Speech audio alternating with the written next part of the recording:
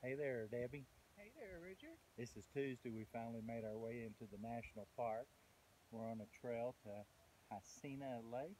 This is not it. I think this is either Dream Lake or Nymph Lake.